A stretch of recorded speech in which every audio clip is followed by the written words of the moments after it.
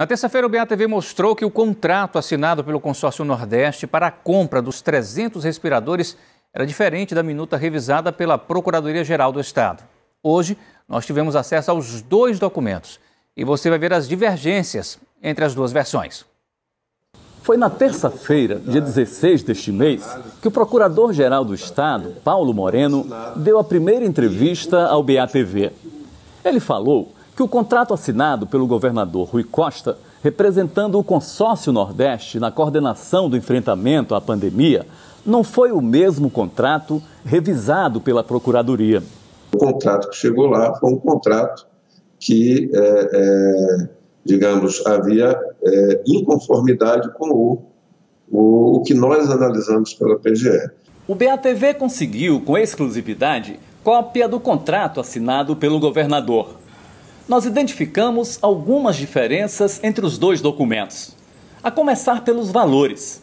Na minuta do contrato, que é o rascunho do acordo entre as partes, o total da compra é de quase 50 milhões de reais. No que foi assinado, pouco mais de 48 milhões e meio de reais. 717 mil reais a menos. Diferentes também são os números do seguro do transporte.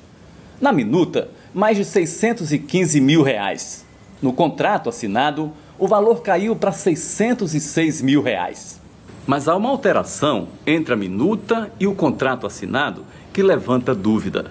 Um pequeno detalhe na redação da cláusula que fala sobre as garantias de entrega dos respiradores que seriam comprados na China. Observem o que está escrito na cláusula sétima da minuta contratação de um seguro internacional para o transporte, com o objetivo de assegurar a entrega dos ventiladores ao contratante. No documento assinado, o texto diz que a seguradora se responsabiliza pelo transporte, mas a partir do momento do embarque dos equipamentos.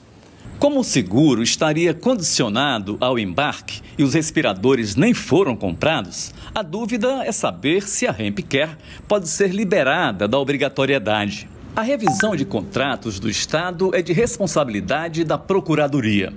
Hoje, o Procurador-Geral, Paulo Moreno, disse à nossa reportagem que a minuta do contrato foi revisada e aprovada, mas responsabilizou a administração do consórcio Nordeste o fato do governador Rui Costa ter assinado um contrato que não teria passado por revisão. O contrato não precisa retornar para a PGE.